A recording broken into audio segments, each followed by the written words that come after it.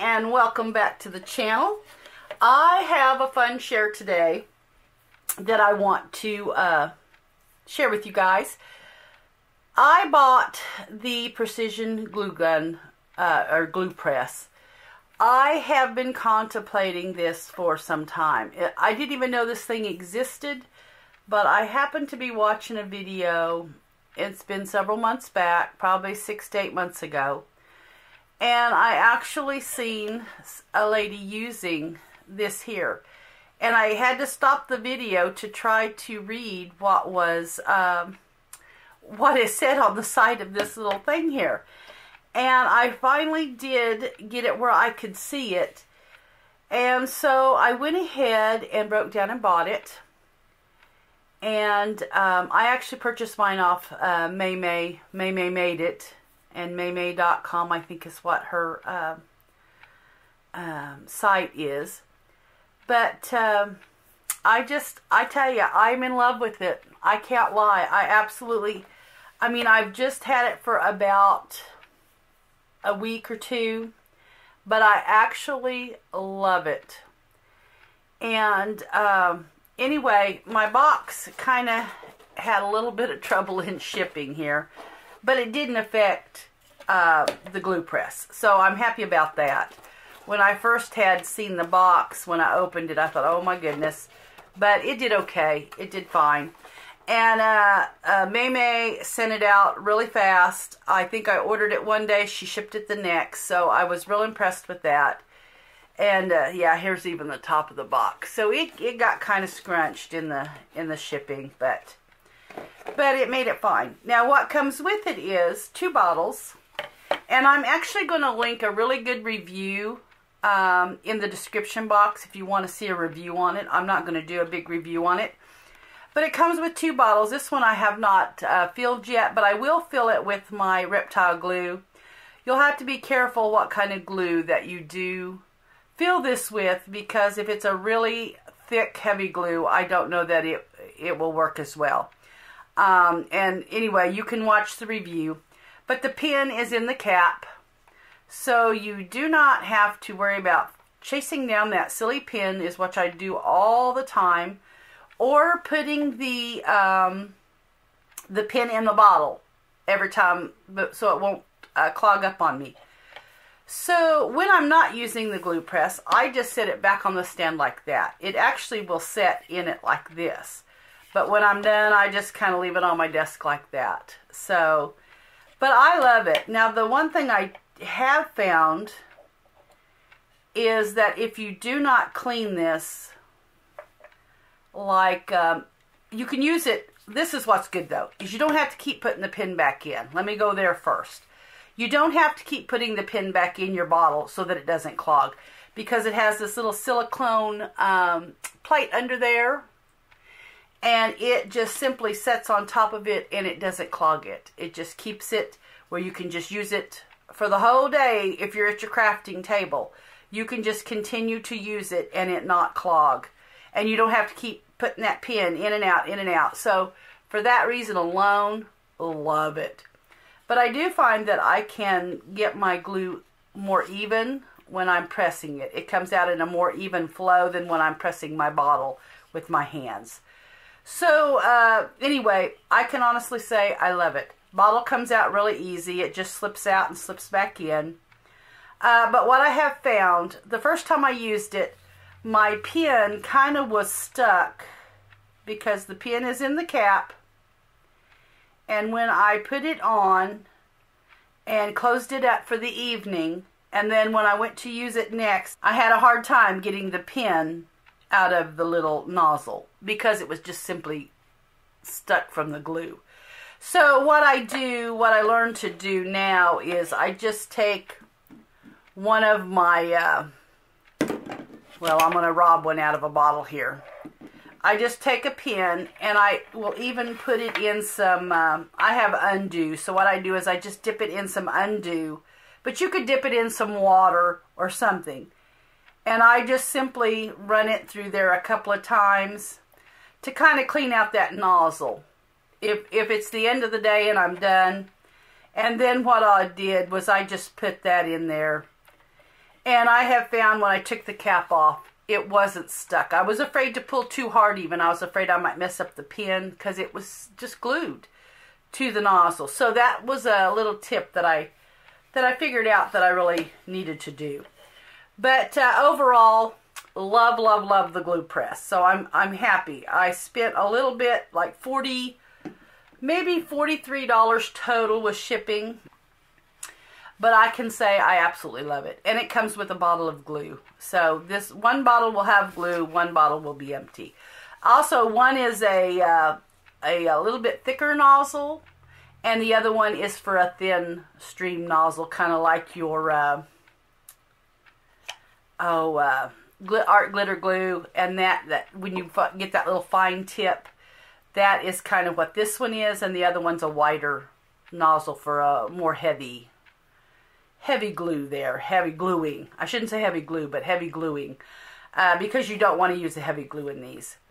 So anyway, that was just a fun, I, a fun thing I wanted to share with you. But I do love it. So it for me, it saves time because I'm not constantly hunting that pin if I've lost it where I've laid it down, uh, or uh, or putting the pin in and out, in and out, in and out every time I need to glue something.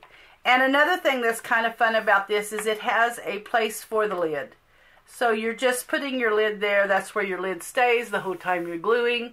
You don't lose your your lid or your pin. So very happy with this. Very, very happy. So that was, for me, it was definitely, you know, two thumbs up for that. Another share I want to do while I'm thinking about it is I bought this Ultimate Crafter's Pick glue from Hobby Lobby. I gave $5.49 for it. And I actually what I was looking for was a glue that could replace my reptile glue so I didn't have to order it online and it would be cheaper. But this glue is a really, really thick glue. You, you can't hardly really use it as a glue for... This glue would be too thick to put in the glue press bottle. Uh, it is just way thick. But what I did find uh, was that I can replace my Fabri-Tac with it.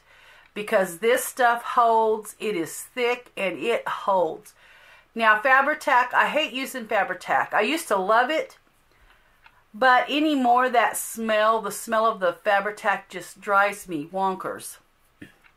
And when I use it, I smell it. it if I leave and come home, I can smell it as soon as I walk in the door.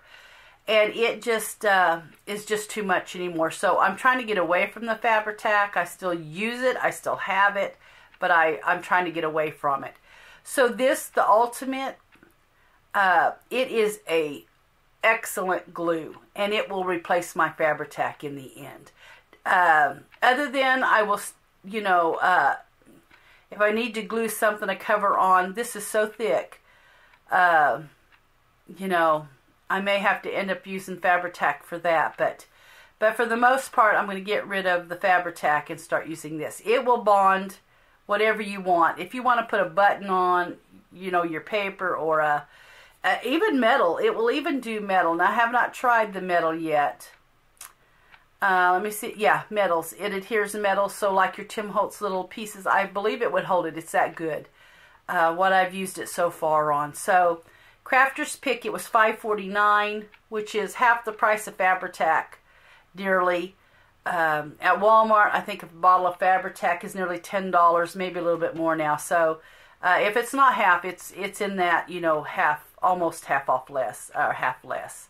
So um, just a good glue, guys. It, would be worth picking up if you do a lot of gluing um, your pieces and things. So Works great. You just can't use it on your, I mean, it, it's not a good glue to use for gluing your paper on and stuff because it's so thick.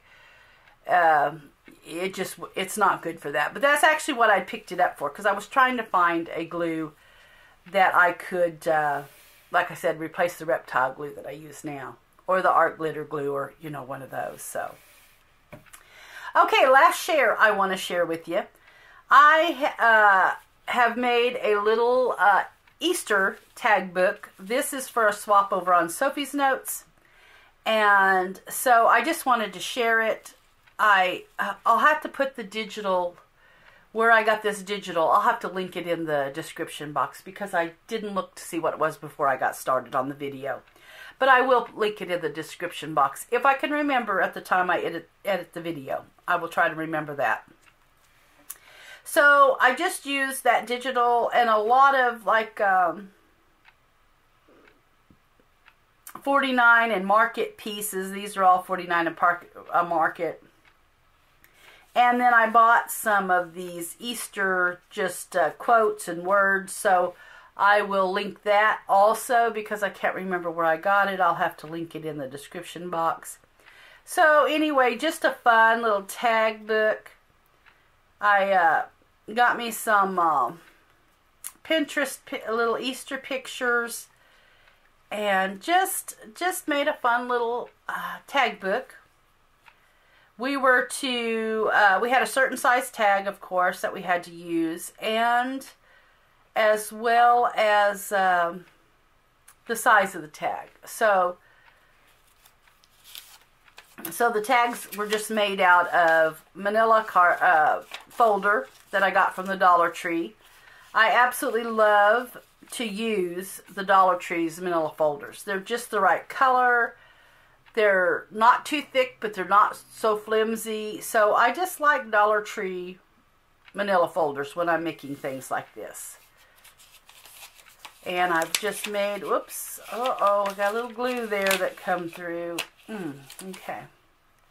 So just a few various papers, just made up some little booklets there. Use some of my vintage laces there.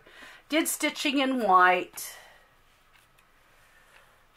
This is the cutest. It was the cutest little um, uh, digital for Easter. And I've used a lot of Tim Holtz as well. I used some Tim Holtz pieces there. Vintage ticket, vintage ephemera, and some of the tape that's uh, aged. And then I took a bag and I actually just glued it to the uh, glued it to the tag and made a little bag so that I could put a little booklet in it. Got a piece of onion skin paper there.